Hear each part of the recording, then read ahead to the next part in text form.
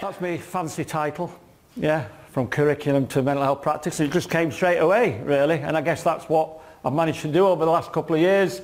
Um, and in terms of the aims, what I want to do is to, to give a presentation uh, around the influences. I've been in nursing now for 34 years, and uh, as I say, particularly this last six years, uh, have been incredibly influential. I want to identify the personnel and the people and the literature that's actually shaped my practice as an educationalist. Um, but I want to focus specifically on some practice examples on how to work through uh, helping people to establish a relationship with voices and particularly to um, uh, you know, support recovery orientated practice. And I want to share with you that I've got two daughters. I've got a, a daughter about to be 19 in September and I've got a, a daughter that's uh, 15 uh, in, in the next month but my 19 year old is going into mental health nursing in September. And in many ways when I developed this presentation I wanted to think what would she really want to hear from an old fart like me? 34 years been in the system uh, and I'm thinking this is hopefully what she would want to hear in terms of the influence and how to work with people uh, in a contemporary way. And I'm blown away already, I want to say this morning, with the two presentations and particularly when Mary introduced what the, co the conference was going to be about because I was here in 2002 Mick when we did the psychosocial intervention uh, program in Kilkenny and uh, you know for me Mary mentioned about you being in, in, in an advanced state with regards to curriculum I mean it's really refreshing to hear that you've got this high on the agenda in terms of what constitutes contemporary mental health practice and I'm delighted. So um, I want to give, uh, give a little bit of background about me for people who don't know me. Uh, I went into my general nursing first uh, at 18. Uh, I loved it, but I got into trouble for talking a little bit too much to patients. So I thought maybe would be a good idea to get paid for talking to patients and doing my mental health nurse training. So I became a mental health nurse at 21. Um, I worked on adult mental health uh, as a deputy charge nurse for quite a while, uh, for about two year period, but I yearned for that community, the autonomy out there. And I also had a special interest uh, for working with people who experience psychosis. Um, I fell into education in many ways in 1997 I did it to pay for my course fees. I was doing a psychosocial intervention masters at the time. Uh, but I loved it, really. Uh, very nerve-wracking at first, but obviously I've been doing it now for coming up to 19 years. Uh, I enjoy, in many ways, trying to inspire, particularly people, to think about new ways of working uh, and to consolidate the really good stuff that's, that people are doing. Um, I've had various roles with regards to, I've been an advisor in psychosocial interventions, I've been a clinical nurse specialist, uh, like I say, I've got my masters in psychosocial interventions. I've been coming over to Ireland for, I can't believe it, 15 years, Mick, yeah, uh, Margaret. Um, and like I say, I work as an education practice consultant now with uh, the Institute of Mental Health in Nottingham, which is primarily a research institute. But we have a training team, education team, of which I'm a part of. Um, and I guess I just want to mention this guy here on the front, Pete Bullimore. Uh, I was saying to Jimmy Lynch at uh, uh, dinner time really, I said, do you believe in fate? He said, yeah. I said, well, in many ways, fate dealt my career a brilliant hand uh, six years ago because I met Pete and I've worked really closely with Pete over the last six years and we've developed a lot of training initiatives and I've learned a hell of a lot from working with him and his team and I, I guess I want to share that throughout the presentation. Um, thankfully, Pete also introduced me to Marius Romme, Sandra Escher.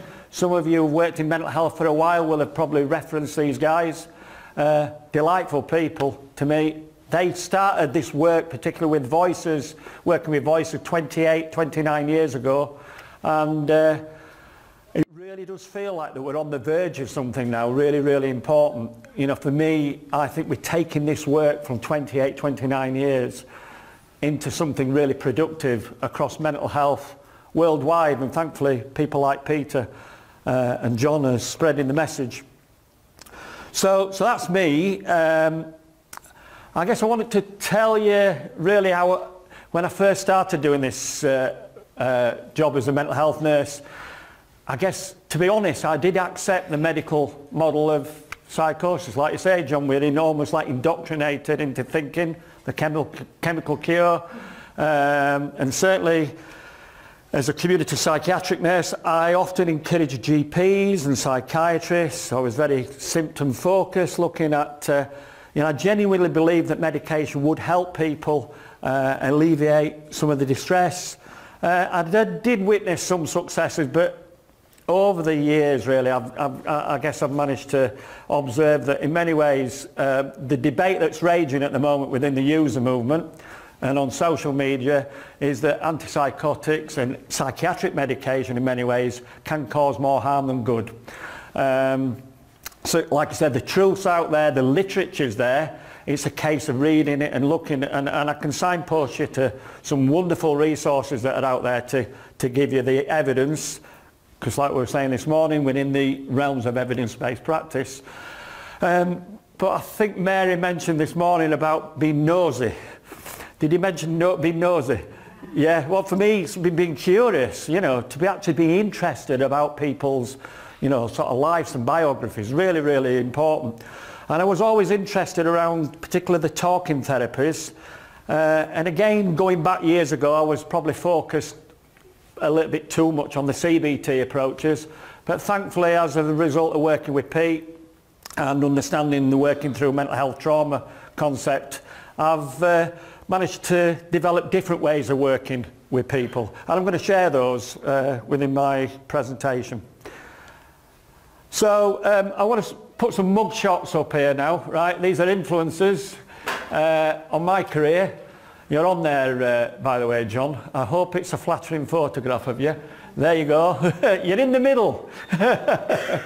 um, Peter Breggin. Yeah, I don't know if you want to YouTube this guy. He, he, he certainly is a little bit of a, uh, uh, an irritant to the American Psychiatric Association.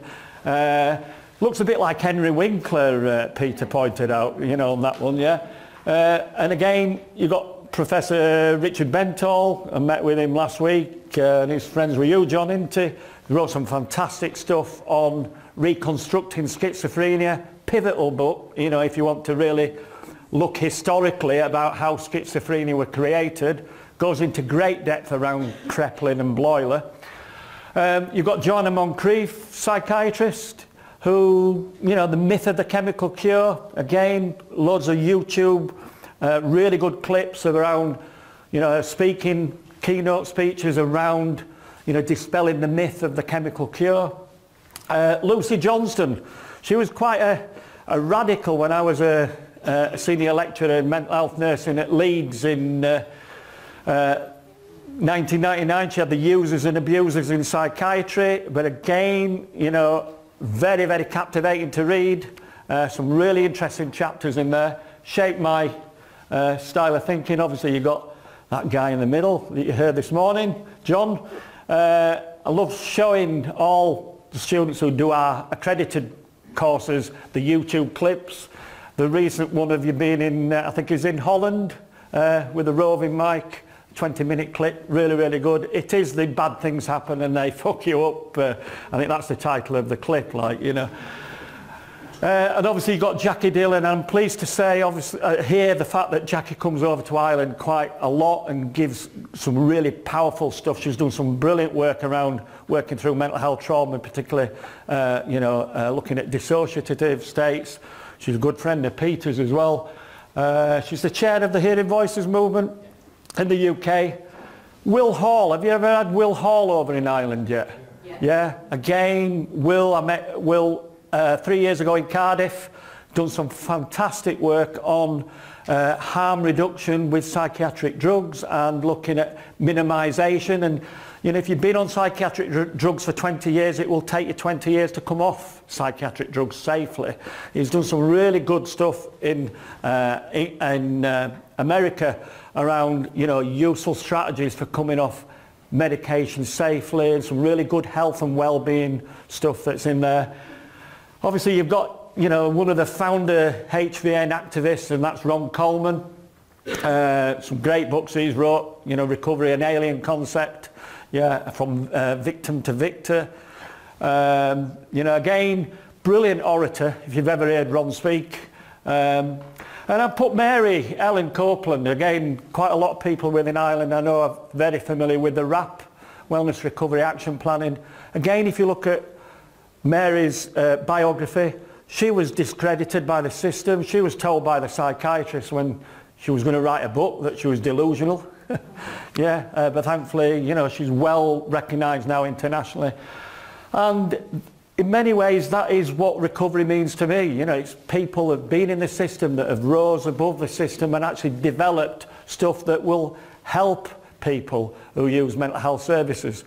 Um, so they're the key people, uh, well, and we've got some other key people coming up, but uh, I thought I'd put them all on one slide. This guy, in many ways, is just absolutely fascinating. I've never met him yet. Um, a lot of people I know I have met him uh, say he's as charming as he is when you see him on the videos. But, you know, the guy, for me, deserves a Nobel Peace Prize, you know, in terms of his work. You know, he's not a millionaire as a result of. You know, he's, he's not a very popular guy, particularly with regards to the psychiatric system in America. But Read his literature. It's absolutely fascinating. He's an, he's an investigative journalist. And the evidence is there, you know. And you might, some of you may perceive this is a radical position, but the, the information is there, honest. So in many ways, I've shaped my, when I'm doing any type of uh, mental health training now, I always guide people to, to this, really. And I will guide me uh, daughter to reading these books. You know, when she starts her mental health nurse training in, uh, uh, in Sheffield in uh, September. Um, you're on there, Pete, actually.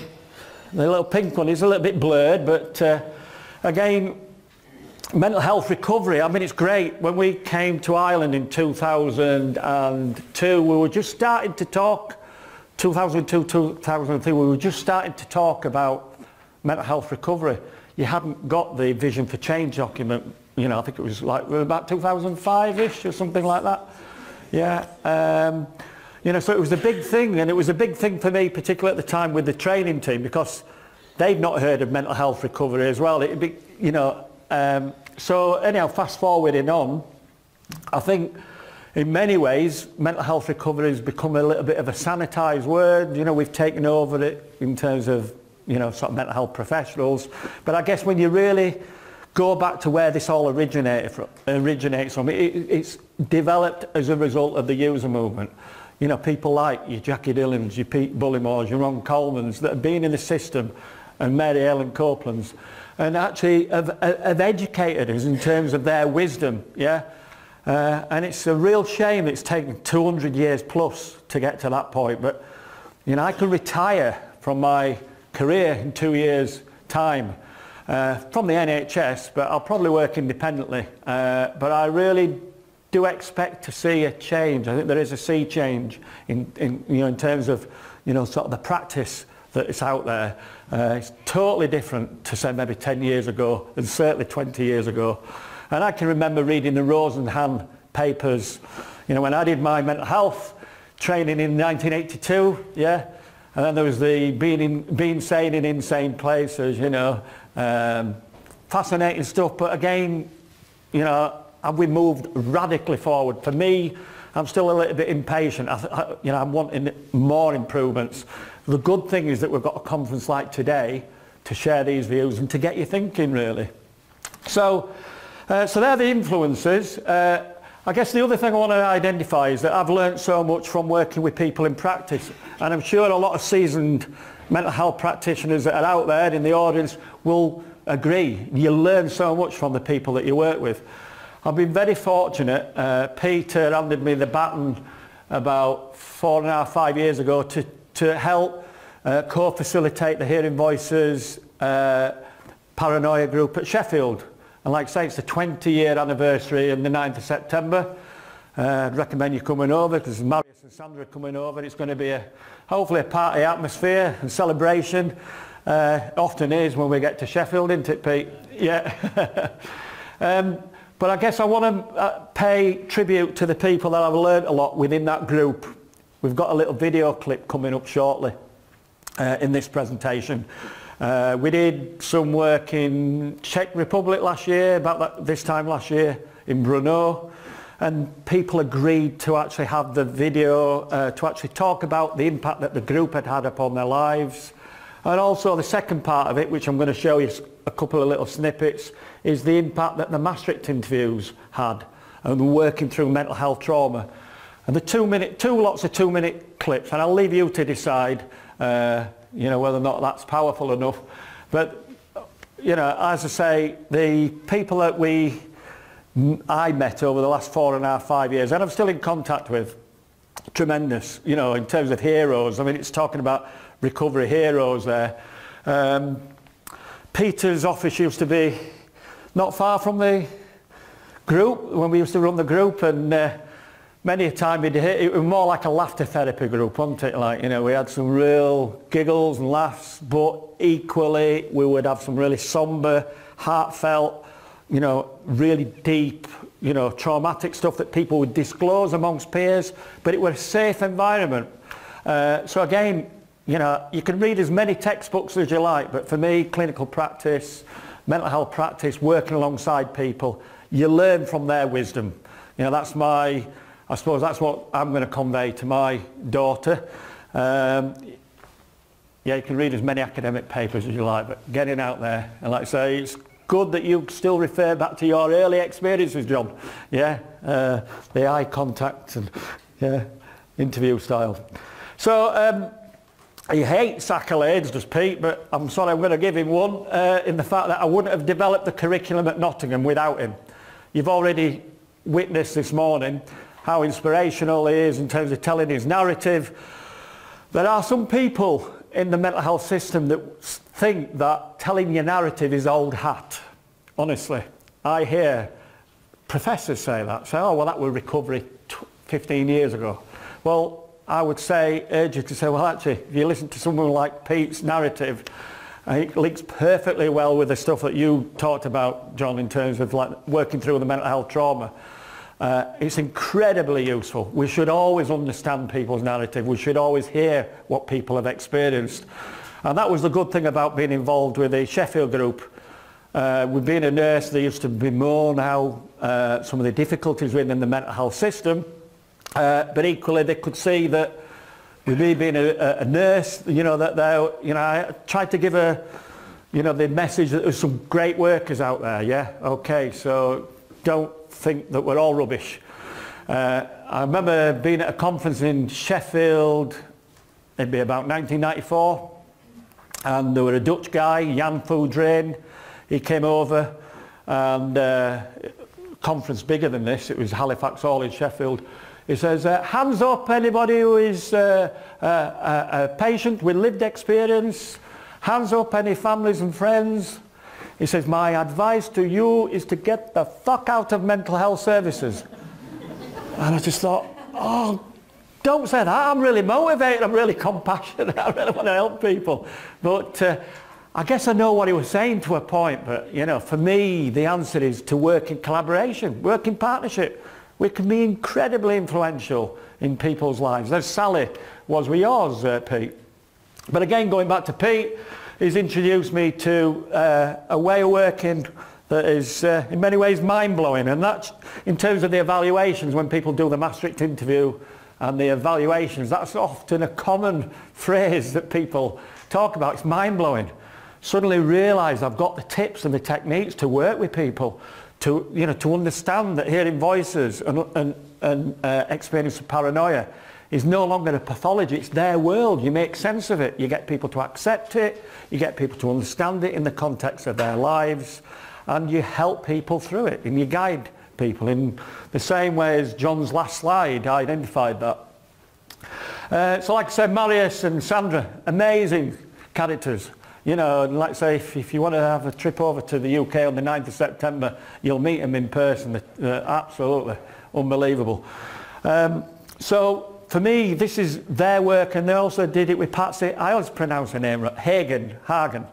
Hagen, yeah. Uh, so it's, it's worth mentioning they didn't do it in isolation. Patsy Hagen is actually also instrumental with regards to the Maastricht interview approach. So uh, there you are, that's our swanky building. Two and a half million pound. Yeah, that'd be uh, what about 3.2 euros? I don't know what the exchange rate is at the moment, but uh, that's the Institute of Mental Health in Nottingham. Um, see if this works. Yeah, see that floor there? That's the Cochrane Collaboration for Schizophrenia, John. Yeah? And uh, I'll let you into a secret, everybody. Down here, over the last few weeks, me and Peter and Bob Johnson, who I'm going to mention in a minute, we've been conspiring against the Cochrane Collaboration for Schizophrenia. we've been getting the message out there, you know, that really there is no such thing as schizophrenia. Yeah? Uh, you know, they spend hours upon hours. I've just realised I'm being recorded, aren't I? Better be careful. yeah. Um, they're actually looking for the clusters of genes now. Yeah, not just the one, but the clusters. Yeah. Uh, there's a little uh, uh, concourse there where often they sit round and have their lunch and what have you, and talk about fine wines as well. That's fine, if they're on a lunch break, aren't they, I guess. But uh, yeah, so that's our building. This is where we've done our, our curriculum. Uh, this is the curriculum that, again, working with Pete, uh, obviously it incorporates the Maastricht interview. If you look at that, that's the Making Sense of Voices Paranoia and the Maastricht interview. And it's at, it's at level four, which is at master's level, postgraduate study. This is the first one and again, I know I'm picking on you, John, but I want you to know that the fact as a result of people like yourself, I've developed a curriculum that discredits schizophrenia. So like Jim Van Os is now saying, you place the experiences of psychosis on a continuum. So that's what we get the message over to people. We use a continuum mental health model. We understand again the history of psychiatry, which is barbaric. If any new people uh, you know, have not been exposed to how things used to be, there's an amazing video on YouTube called The Psychiatry Nightmare.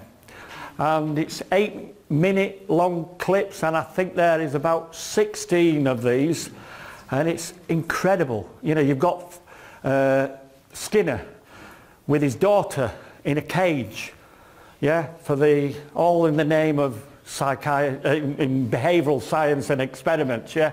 You've got Pavlov, with, not just with his dogs, but you've got actually Pavlov, you know, wired people's jaws through their measuring saliva, uh, saliva. Yeah, like I said, history of psychiatry, uh, 200 years plus, doesn't make for good reading, but you need to, we need to understand where we've come from. And I think in many ways, you know, some real positives about where we need to go, but we need to understand what we've in, inherited in terms of the you know, the history. Uh, and like John was saying, it is very socio-political in many ways. It's not just about psychiatry being bad. It's, you know, in many ways deliberate. But we need to understand where we've come from to know where we're going, really. I think, I guess that's the thing. Okay, so, so that's, uh, in terms of the skills profile, you know, that uh, obviously was the rationale, you know, for developing the curriculum. Uh, how are we doing time-wise, Agnes? Are we? Uh, so look, yeah. 15 minutes left. Yeah, great. Okay. So uh, there they are, Marius and Sandra. She's an absolute sweetheart. He's a real eccentric. He's a real character, is Marius, yeah? I'm, you know, I've picked him up from the airport, Manchester Airport, a couple of times, and I've shared a pork pie with uh, uh, with Sandra on uh, the Woodhead Pass, you know, on the way back once, and she's a lovely woman. Um, but this book, in many ways, does talk about the Maastricht interview approach, and like I say, in many ways, it's their work that they did with Patsy Hagen 28 years ago. Um, okay, so the other guy I want to mention, uh, I don't know, anybody ever heard of Dr. Bob Johnson? Yeah. Yeah? Have you ever had any, oh, he's been over here, hasn't he, to, to Ireland, yeah? Uh, how did you find him? Brilliant. Brilliant. Oh, good. Yeah, yeah, yeah. Well, we two weeks ago he was over in Nottingham and uh, we had a we had a hoop, uh, Pete. Like, he was there on the first two days. He developed, he, he uh, presented his work, which was around working through mental health trauma, the frozen terror, uh, trauma triad concept. Uh, again, if you understand his history, this was a guy who had the most effective re recovery rate at Parkhurst Jail uh, with you know, people that were diagnosed with severe personality disorder, with people who uh, uh, had committed murders, and people who were wrote off basically. Uh, it was incredibly successful to the point where you know his, the recovery rate for people who were working with um, was up to about 90%. And in terms of, so that was the human cost, but financially, you know, he was rehabilitating people. The then Home Secretary Michael Howard uh, closed him down. He said, these people are here to be punished, not rehabilitated. Uh, but in many ways, and the reason I'm telling you that, in many ways his work lives on in the fact that Pete integrates this work. Uh, he's sort of shared this with me. And in many ways, the case I'm going to show you in a minute utilises Bob's model. And I'm going to just outline basically what that is, yeah? Which is, uh, actually, I just want to mention that as well. Caroline Ainscough, Kay Toon were a wonderful, we talk about working through mental health trauma and particularly sexual abuse being prevalent. This is an excellent skills practice uh, workshop uh, uh, book. Um, I, know, I knew both of these uh, psychologists. They were from Wakefield. Unfortunately, Caroline uh, died in uh, the year 2043 of a brain tumour. Uh, Kay Toon, the last time, time I know she's, still practicing. But there's some really good practice tips within that book. And again, this is something that you endorse, isn't it, Peter, in terms of a, a workbook. But I guess the other thing I want to mention is the uh, asking the question, which is uh, yourself, John Read, and uh, um, Paul Hammersley. Yeah. So, okay. Uh, so as we've out, outlined this morning, mental health, trauma is prevalent in many, many guises. You know, and it can be incredibly uh, difficult for people to overcome these issues. So it's physical, sexual abuse, Emotional abuse is obviously very powerfully portrayed this morning. And the other thing uh, which is often neglected is neglect. If you're made to feel different, if, you may, if you're told things over and over again that are really negative, you can form an opinion that can be incredibly damaging. And it can be damaging in later life in terms of adulthood. Um, and I think the key thing is it's often found in the narrative. And I've worked with people who have been in the system for 20, 30 years and nobody's ever really explored their life histories. And it's tragic that people can have medical notes that are that big that have been in the system for 30 years and people haven't asked, as we were saying this morning, the very straightforward question is, what's happened to you? Yeah? Not what's wrong with you, with the big you know, long list of psychiatric diagnoses. Okay, so moving this forward, uh, this is um, Bob's model and he talks about trauma being a cognitive fog and it stops you from thinking. And when we were teaching with him a couple of weeks ago, we were talking about the, the cognitive blocking, weren't we, Pete? We were talking about you, know, you actually being stuck, you can't think. Uh, because what happens is that the, you know, it's in a freeze frame, yeah? Uh, if you do, I mean, that's in the, the stuff in bold, bold is really, really uh, important. If you dare not look, you cannot see. If you cannot see, you cannot think. Yeah, and this is really key, is that people perceive, particularly the fear, which is the dominant, emo uh, dominant emotion, which again is something I picked up from working with Pete, uh, anger being the second, but fear, uh, you know, most, uh, all uh, mental health distress is fear driven. If you're fearing something as an infant, you know, it's going to be incredibly frightening. Often people's problems in terms of the behaviour is really, you know, they're not really understood properly because actually you've got infant fear. Now, in terms of the model, what we're saying is if you've got that frozen terror as, a, as an infant, you get this brainwashing to fear and it becomes irrational. And, uh, you know, in terms of the presentation, you get a lot of uh, uh, you know, I mean, obviously as, as a result of the process, infants deal with trauma with denial.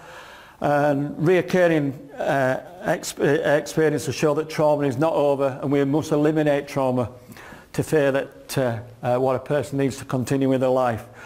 Um, so the trauma remains. That's the key thing. You know, so you know the important thing is to work through mental health trauma. And a, a good way of identifying that is you see this young boy looking at uh, in the box, right? Um, Pete, I don't know if you want to, do, do you mind just sort of explain, you explain it perfectly. Uh, do you mind just... Uh, it's basically, uh, when, when we get a fear as a child, what we do is we put it in a box, it becomes a can of worms.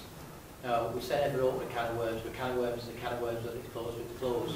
But when you put that into that box and close the lid, that child goes into denial.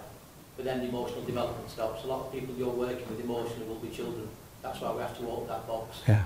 I'll show you this afternoon that they maybe not be one box, yeah. that's why you need a construct and a full narrative, they might be 20, and you have to start in a systematic way on how to open them. Yeah, so imagine that young boy, thank you Peter, uh, having uh, some form of uh, psychological, sexual abuse. There's only two things he can do, and that's one, you know, it can dis disassociate, you know, sort of uh, from the experience happening, and the other is putting it in a box. And like I say, that's the can of worms never to be opened, right?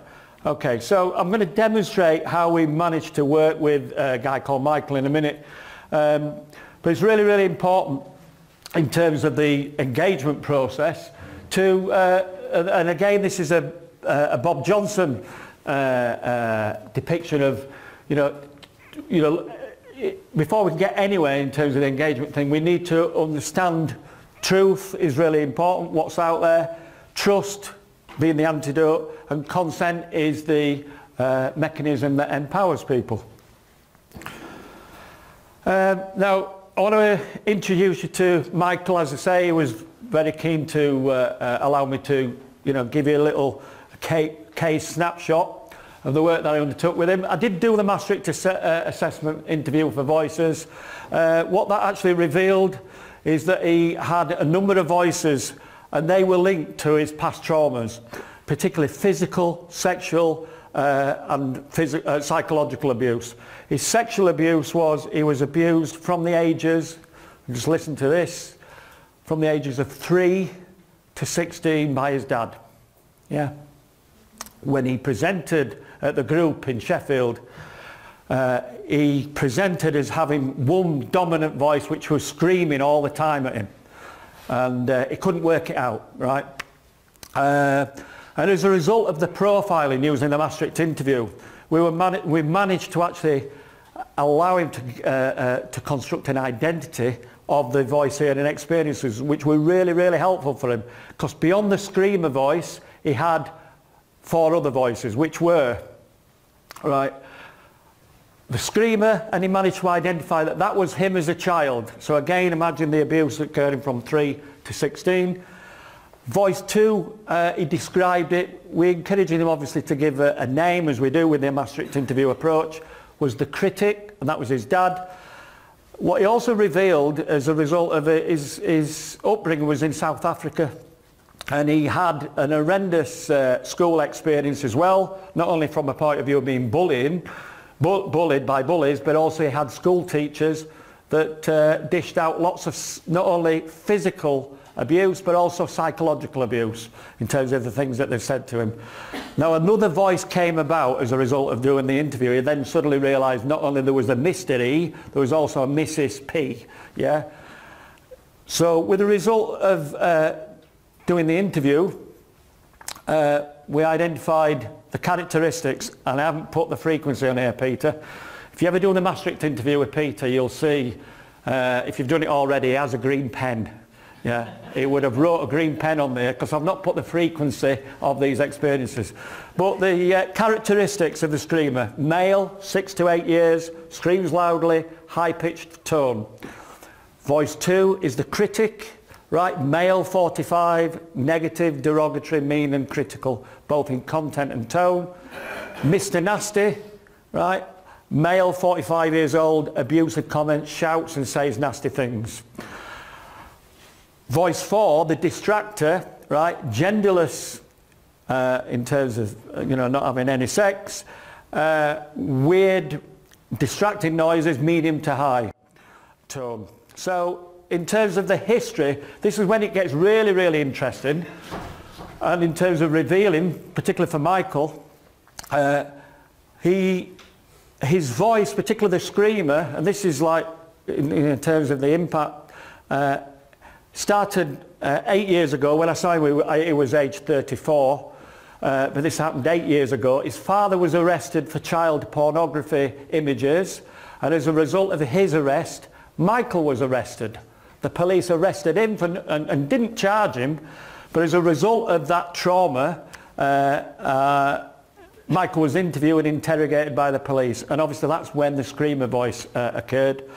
Now, the critic began when uh, 18 years ago, age 16, and that's when his dad stopped abusing him. And again, that was relevant to the school teacher to uh, being a critic. Uh, Voice 3, Mr Nasty, started 13 years ago, and that's when he moved from England from South Africa. And again, we've got a profile of when the distractor began. That was at high school, age 13 to 14. Uh, and in terms of the triggers, I'll let you read those. There's a number of triggers in terms of what activates his voices. So already we're getting a profile of his voice hearing experience, which he never had before. And you're going to hear in a minute what he found useful about the process of doing this uh, type of work. Okay. So in terms of content, and I'm really sorry here, Agnes, but I managed to, uh, uh, that one slipped through the net. Yeah? so I don't know whether you've got a profanity alert on your email, but uh, we get them at work, do you? yeah? So, but actually, when you read this stuff, it's pretty grim, isn't it, really? When you think you experience this on a daily basis. Yeah. Really nasty stuff. No positive stuff at all. And this one in particular, you know, imagine doing something in a social situation and all of a sudden there this, woohoo! Yeah? And I'm thinking, where the heck's that come from? Like, yeah? And that used to amuse him, but actually also used to freak him out, he used to say, in terms of like, you know, making him feel very nervous. Okay, so I think the main thing I didn't point out is that this is the construct, this is the final part of the interview. The report, you, you must always have a construct to the report before you do any therapy work. So I'm shortening it in terms of showing you the condensed version of the report, which is a construct. And the good thing about the Maastricht interview, it, it distills the information right down to identifying who his voices are, what they represent and how they manifest themselves as problems. So as you can see, quite simply, I've just told you the potted history of his, uh, of his life.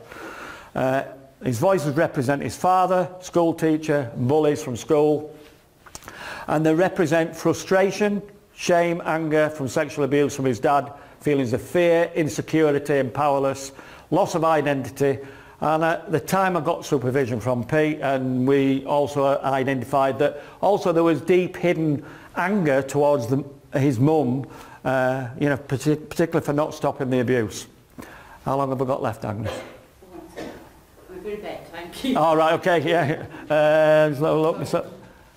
Okay, right, okay, nearly there. Okay, so uh, just want to identify the trauma triad work. This is Bob Johnson's work. Uh, is that you actually get people to reenact in a safe environment uh, uh, through a role play scenario and with Michael we did it with chairs we got him to face his abusers as a 34 year old adult we got Michael young Michael to feel safe I said where would a place of safety be for young Michael it'd be in the bush in South Africa yeah so then we got 35 year old Mike 34 year old Michael to look at these chairs. We worked in terms of the hierarchy with the bullies first, and we got them to say what you did was wrong. I'm angry at you for doing it, and I'm going to stop you from doing it again. Now, initially, he's six foot three and a bit, is uh, Michael. He's very half-hearted I was saying it, going to say it over and over again, and he said it in a very, very powerful way. They've going to stand up and say it. And particularly when he was doing the bully, uh, working through the bullies, uh, he revealed and what you did was wrong and you put fucking iron filings, uh, filings down my back and it made it red raw and you're thinking, oh, this is really, really powerful stuff. And uh, And I asked him at the time, I said, what, you know, what was that like? He said, well, I faced up to them, haven't I? As an adult, can't believe I've done that. He was shaking with fear, but actually he felt really, really proud that he managed to start, stand up to the bullies. So in terms of the trauma triad, we got him to do just, not just that with the bullies, but we got him to actually say the things he needed to say to his mum, to his dad, uh, but also, more importantly, uh, we also got him to write letters to himself as a young child, as a young Michael. And again, in terms of the workbook that I've talked about, the Caroline Ainscough Kay Toon, and it's a suggested technique some of you may be familiar with. So just have a look at this, right? These are his words, right?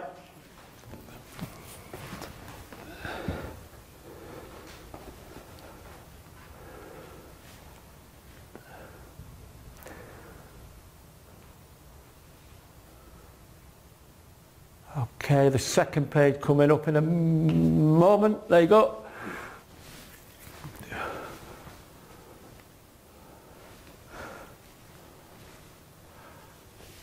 So this is young Michael. This is at the time he wrote the letters, he would be 35. What I, wanna, what I want to ask you is what's the letter done for him? Just put your hand up if, uh, and just shout out. What's the letter done? helped him heal part of his inner child, his younger self. Yeah. Mick? Take away the blame. Yeah, so, and I think the other is he's trying to support him, he's trying to give him love, he's trying to connect with a young Michael that he was disconnected with for so many years. Uh, pardon? Yeah, to feel in control and to feel as an adult, really. I guess that's the main thing. Um, I received this email uh, about a week or so later.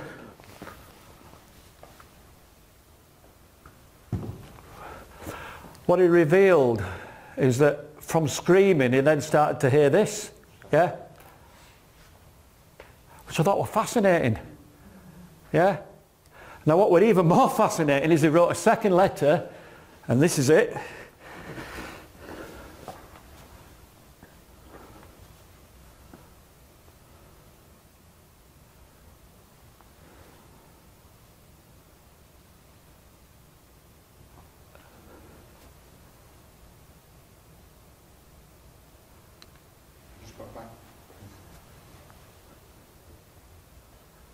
Yeah, it's very moving, isn't it?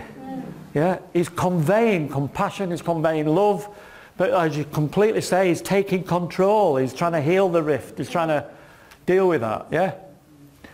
Okay. Um, I'm aware of time, so I'm just going to quickly uh, also identify that he wrote letters to his. Uh, if I had more time, I'd show you the letters to the teachers. That they were even better. They were fascinating, very graphic, brilliant. Yeah. Okay, but what I want you to do uh, is just think about how Michael is now. Yeah? He's attending his local Hearing Voices group pretty regularly. He's a co-facilitator. He's got relationships with his voices, more, more importantly, and he accepts them. Uh, the experiences have changed. When I rung him uh, two weeks ago, he says, I've actually got a new voice, it's genderless. Actually, the interesting thing, it's, it's positive. So who do you think that might be? He says, well, could be me. I thought, wow. yeah.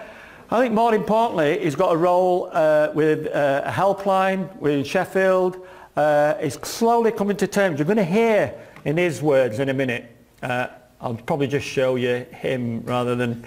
Let's have look. Yeah, okay. So here's the test. Uh, are we okay for another four minutes, yeah? Good. Agnes, you're giving me preferential treatment. I don't mind. Okay, so actually this is Bob first, yeah? And then I'm going to fast forward to Michael. Very much Two minutes.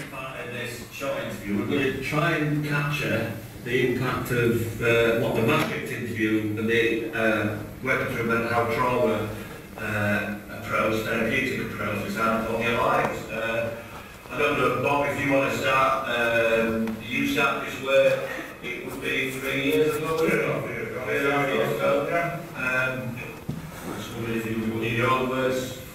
well, for starters, close to three and a half years ago, I didn't have a life. Right. Uh, the Maastricht to me was introduced me to uh, discovering a new life uh, in which I am in command and not my voices or my paranoia.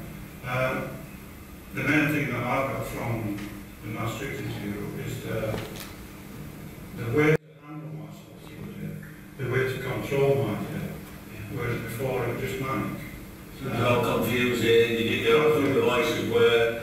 Um, No, I've, I've got a, a name for, I've got seven voices, and I've got a name for every voice. and it was, is it important to have an identity to the Yes, voice? yeah, because my voice is telling me at what point in my life I hit my trauma Yeah. that caused them to appear. And the way in which it was dealt with with the Maastricht was a very soft and subtle way to do it. So it built up like a hierarchy Yes, and it made connection with trauma that happened to you in your life. But did it allow you to talk about voices for the first time? yes. Uh, initially coming to the Voices group in itself gave me that power to do it. Uh, but the Maastricht has taken me further. It's taken me to universities, hospitals, just about everywhere you can find a student Yeah. to tell them what the Maastricht has done for me. Um, Okay, get the message. That's Bob. Yeah, obviously, I just want to quickly move on to Michael. 28. 58. Excellent.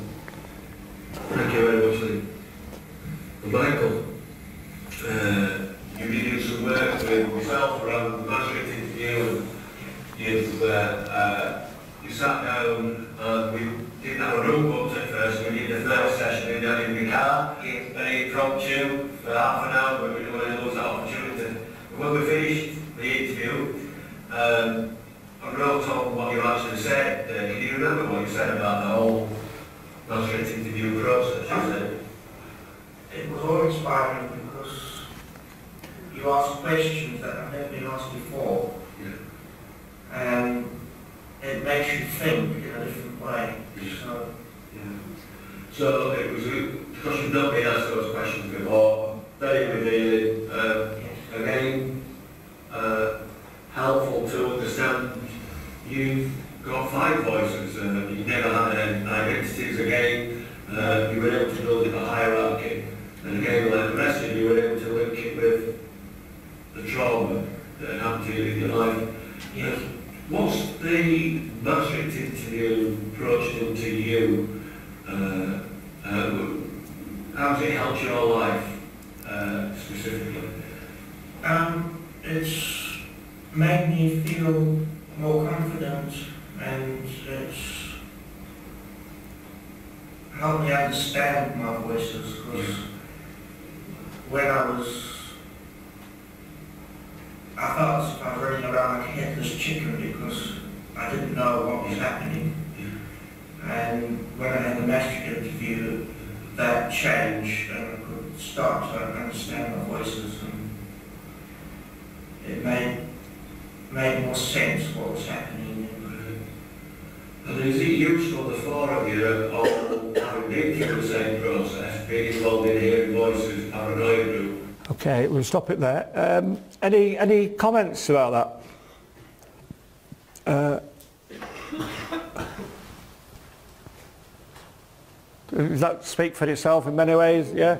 Uh, I think very brave of people to uh, do. You know, I mean, these are people who were really shy and introspective when they first came to the group, but we were really proud to show that in uh, Czech Republic, weren't we? Um, we need the interpreter, didn't we? There's always a bit of a delay. Okay, so I just want to conclude with this final slide.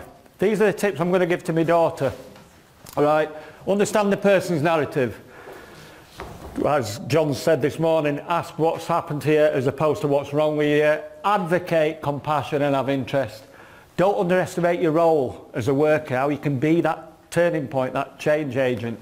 Uh, enable and assist people. Case management, those practical, simple ideas that uh, Pete says PSI is not just psychosocial interventions. Uh, recognise the harmful effects of medication offer people health promotion and help a person to work through mental health traumas. And this is the final one.